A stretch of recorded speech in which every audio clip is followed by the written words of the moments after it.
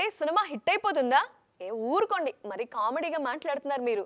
కథ బాగుంటే హిట్ అవుతుంది కానీ గడ్డం పెరిగితే సినిమా ఎందుకు హిట్ అవుతుంది అనుకోవచ్చు.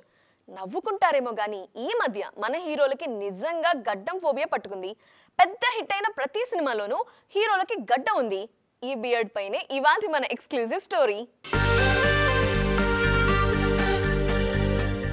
భాషతో సంబంధం లేదు. ట్రెండ్ ఏదుంటే అదే ఫాలో అవ్వాలంతే. గడ్డం విషయంలో మన హీరోలు ఇదే చేస్తున్నారు ఇప్పుడు తెలుగు తమిళం పని లేదు. పీరియడ్ ప్రస్తుతం అవసరం లేదు. అన్ని సినిమాల్లోనూ గడ్డంతోనే కనిపిస్తున్నారు. పక్క కమర్షియల్ సినిమాకు సింబాలిక్గా మారిపోయింది గడ్డం.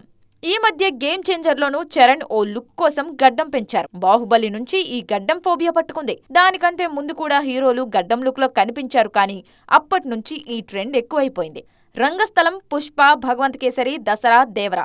ఇలా ఏ సినిమా తీసుకున్నా హీరోను గడ్డంతోనే చూపించారు దర్శకులు. అది బాగా క్లిక్ అయింది కూడా. నాన్నకు ప్రేమతో లాంటి సినిమాలు లుక్ పరంగా ట్రెండ్ సెట్ చేశాయి కూడా. ఇదే ఓ ట్రెండ్ లా కంటిన్యూ చేస్తున్నారు మన హీరోలు. విజయ్ దేవరకొండ అయితే అర్జున్ రెడ్డితో ఓ కొత్త ట్రెండ్కు తెరతీశారు. అసలు గడ్డంతో హీరోలు ఇంత బాగుంటారా? అనేలా ఒరవడి సృష్టించారు. మరోవైపు పీరియడ్ సినిమాలకు గడ్డం అనేది కామన్ అయిపోయింది. సీనియర్స్ మాత్రమే కాదు నాని తేజ సజ్జా నిఖిల్ లాంటి హీరోలు సైతం గడ్డం లుక్లోనే కనిపించడానికి ఆసక్తి చూపిస్తున్నారు. బియర్డ్ లుక్ అంటేనే నోనో అనే మహేష్ బాబు సైతం గుంటూరు కారంలో గడ్డంతో కనిపించారు. తాజాగా రాజమౌళి కోసం పూర్తి బియర్డ్ లుక్లోనే కనిపించబోతున్నారు.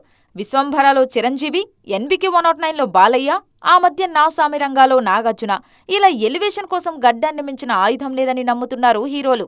ట్రెండ్ నడుస్తుంది కాబట్టి దర్శకులు అదే ఫాలో అవుతున్నారు.